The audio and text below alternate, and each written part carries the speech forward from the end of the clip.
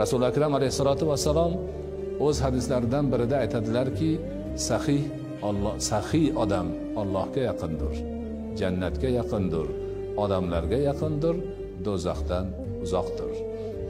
Baxil odam ollohdan uzoqdir jannatdan uzoqdir odamlardan uzoqdir do'zaxga yaqindir deydilar. Johil sahiy ollohning huzurida obid baxildan afzaldir deydilar.